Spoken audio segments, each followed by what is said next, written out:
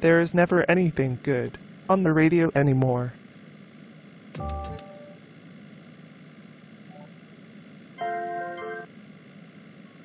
You are speeding. Who said that? Me. Uh, ah, me who? Over here. On the dashboard. Whoa. I'm the hula girl on your dashboard. Um, you're just a bubble doll? You can't talk. Oh yes, I can. Why do you have a man's voice?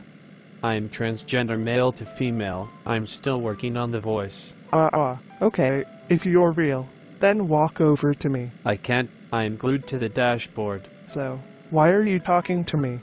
Because you need a friend. How did you know that?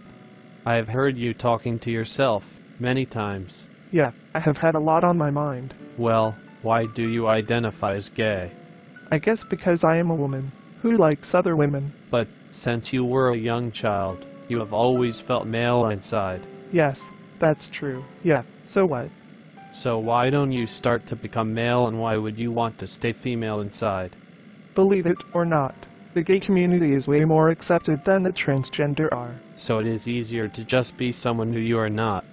Yes, it does make life a lot easier for me. But are you being true to yourself? And what about when others catch on and see that you would rather be male? Just shut up and leave me alone and nobody will catch on. Yes, they will catch on.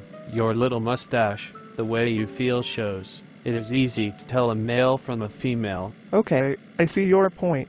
But I already went all through school being called gay and being bashed. I don't now wish to be called a new set of names and go through stuff again. But don't you see that every person who is true to their self and goes through that helps pave the way for the next person? I see your point. I guess I have a lot of thinking to do, and whoa. You have ran up a large cab fee now. Pay up.